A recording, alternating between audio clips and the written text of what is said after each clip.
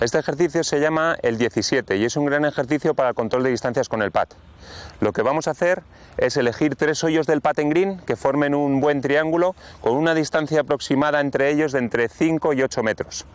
También vamos a utilizar nueve bolas para este ejercicio, de tal forma que vamos a poner tres bolas cerca de cada uno de los hoyos a diferente distancia. Vamos a poner tres bolas a aproximadamente un metro y medio de la primera bandera, de aquella bandera he puesto tres bolas a unos tres metros y en aquella bandera las bolas están todavía más alejadas a unos cuatro metros y medio.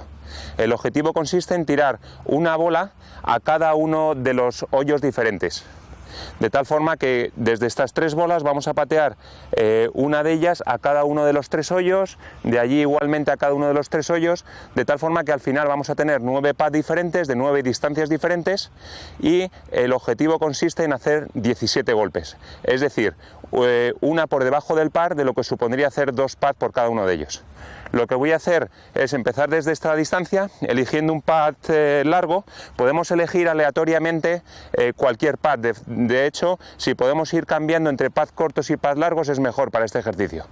Voy a empezar por un pad de media distancia, donde voy a hacer mi rutina completa, esto es importante, voy a, hacer mi rutina completa de que como si estuviese en mitad de la competición, de tal forma que voy a mirar el pad desde diferentes puntos de vista para estudiar bien la caída y una vez que he tomado la decisión, pateo.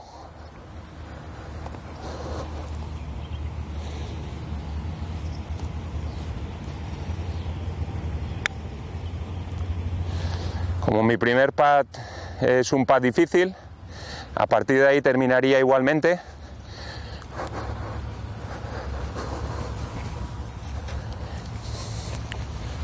Rutina completa de competición, como si estuviese en mitad de un torneo.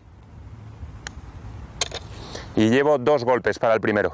Voy como si dijéramos al par. Voy a intentar afrontar ahora un pad corto para ponerme bajo par e ir un poquito más tranquilo en mi ejercicio. Igualmente vuelvo a tomar todas mis referencias como si estuviese en competición.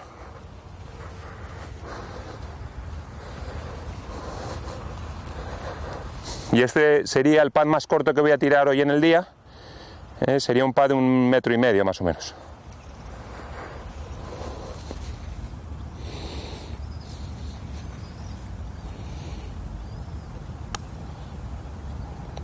Lo fallé por poco. O sea que a partir de ahora sí que tengo que conseguir un buen resultado si quiero conseguir el reto que serían los 17. Lo que haría sería, por ejemplo, utilizar una de estas bolas para patear al pad del fondo, la otra tendría que patear hacia allí, e iría cambiando paulatinamente de pad en cada una de ellas y vuelvo a recordar, es un gran ejercicio para el control de las distancias.